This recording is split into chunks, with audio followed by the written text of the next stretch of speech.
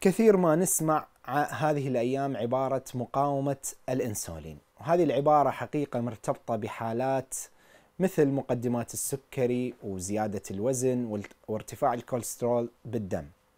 وإذا نريد نعرف هذا الموضوع ببساطة هو أن الإنسولين هرمون يفرز البنكرياس ويسهل دخول السكر بالدم ويوصله إلى الخلايا اللي تحتاج لجلوكوز في جميع أنحاء الجسم.